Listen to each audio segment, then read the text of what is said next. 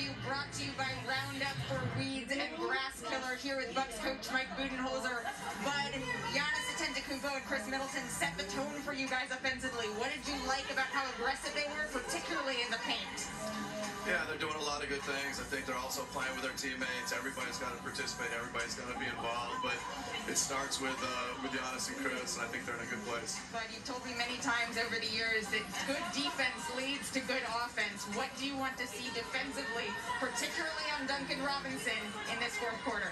Yeah, we just got to get more stops so we can play, you know, off the rebound and play against a defense that's not stead. We got to play, you know, maybe more connected to him. But you know, it's, it's a good game. Um, a lot of good defense both ways. So um, that's the way it's supposed to be. Thanks so much, Bud. Thank you. Brian, back to you. Well, Tyler Herro starts the fourth with a three. Malika, the 15th three of the game for Miami. They've shot it 45.5% from there as Giannis gets bumped by Adebayo. And Giannis is going to go to the line to shoot a pair. I think you have to give this young guy a ton of credit. As he started off in that first six, eight minutes of the first quarter shaky. Just couldn't seem to get in a rhythm. Since that time, he's taken over the game in the paint and just makes things happen. But the big thing is, as we move through the playoffs now, the foul shooting has got to improve. We all know that he shot it less in the high 60s during the season, and that makes it today he's two for four at the foul line. But you just love physical contact that he will do and accept with his drives off of people in the paint when he's double and triple teamed. I think Mike Budenholzer always talks about in regard to Giannis and brought up again with us yesterday was how he has a consistent growth mindset. Some people talk about it, he is about it, continually wanting feedback, trying to get better. We've heard about the legendary stories in Milwaukee about lockout days where Mike Budenholzer had to lock the gym to keep his players out of there, led by Giannis, who always wants to work, as Giannis comes up with a rebound there, his 12th to go with 19 points. Now they double team Bam in that area. He thought that he, oh, great strip by Herro. Herro comes up with a steal. Milwaukee a one-point lead. Fourth quarter, game one of this best of seven first-round series. Three more games on the ESPN family of networks to come today. As Nunn can hit the three, and DiVincenzo to take that rebound away for Portis. Well, Nunn is a very good three-point shooter. He shoots it at 38%. He'll take four or five a game. DiVincenzo left it short. Adebayo alone for his mm-hmm. fifth rebound. Uh, the big key right now for Miami is doing what you're doing now. Holding for one shot. Dragic connects on the jumper. Goran Dragic now with 17 off the bench in 20 minutes. How about three for six and threes, and then also seven for 11 from the floor? I'd say he's having a nice day. Middleton has size on Nunn. Couldn't finish.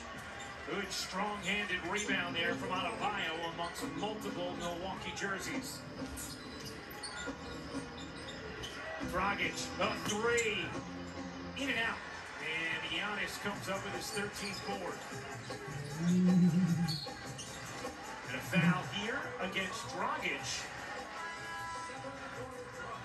Our stacked sports lineup continues tonight and tomorrow. The NBA playoffs underway. We'll have game one between the Celtics and Nets on ABC at 8 Eastern. At the same time on ESPN, we'll have the junior welterweight unification bout between Jose Ramirez and Josh Taylor. That's why you got to have the ESPN app. And tomorrow morning on ESPN2, the Monaco Grand Prix jump starts today. And the final round of the PGA Championship is on ESPN at 10 a.m. Eastern. Another reason to have the app. Now that's a lineup. DiVincenzo flicks it out beautifully to Holiday. He it the three. Loose ball. Who's going to get to it? It's out of bounds, and it's going to be Milwaukee basketball. Yeah, I just like the fact that in this quarter and at the tail end of the third quarter, uh, Miami is getting three, four guys on the defensive board. So they're all getting back in and they're making good things happen. Unfortunately, unfortunately, if you're on this play, they didn't get a good break. Portis, Holiday, DiVincenzo, and then Fumbo and Middleton the five for Milwaukee. Middleton drops in a three. 20 points for the two-time All-Star. Uh, he's just been so smooth. And an answer on the other end, Tyler Herro. They're waiting for him to get hot because we all know that he's a very streaky shooter. Uh, in fact, maybe he'll get going for them now. Giannis, when he gets that runway and some space, impossible to stop. Well, you can see anytime he gets down in there, whether he runs the reverse, whether he splits a double team, or he goes strong to the hole. Once he elevates, you gotta lay off. Herro too strong.